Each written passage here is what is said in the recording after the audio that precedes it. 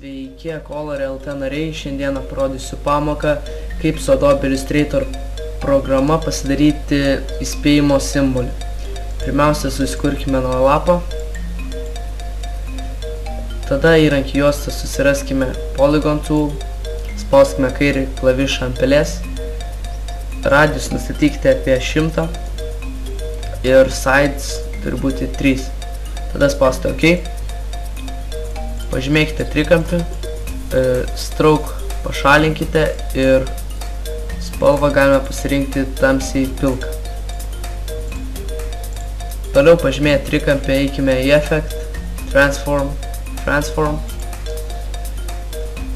Kampas turėtų būti 120, kopijos 2 ir štai čia kvadratą nustatykite tarp dviejų per vidurį, pačiam viršuje. Spauskime OK. Pažymėję trikampį, padarykime jį kiek smailesnį, maždaug taip.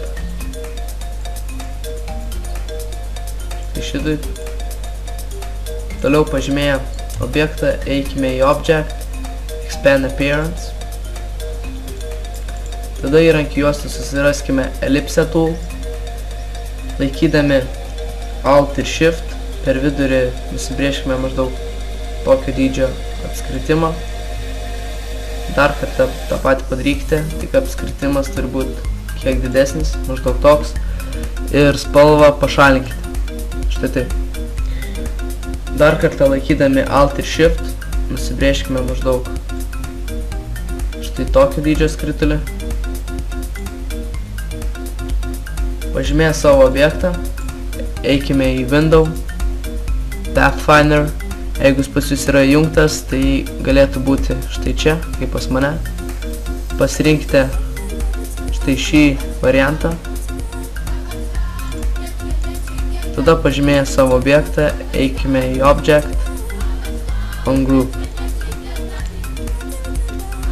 Dabar nutrinkite štai šios kampus, štai čia, štai čia, čia, čia, čia turėtumėt gauti štai tokį variantą.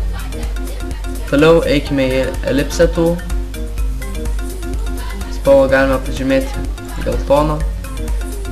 Ir laikydami Alt ir Shift iš centro nubrėžkime maždaug tokio dydžio. Taip, mažesnį. Štai tokio dydžio skrit. Tada eikime į Object arrange, send to back. Štai taip.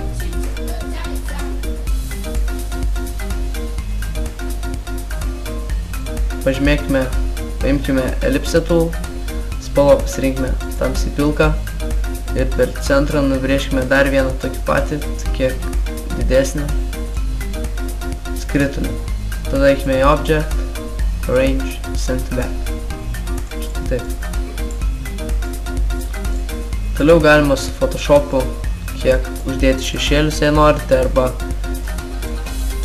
kiek pakoreguoti. Taigi, ačiū, kad žiūrėjote. Sėkmės.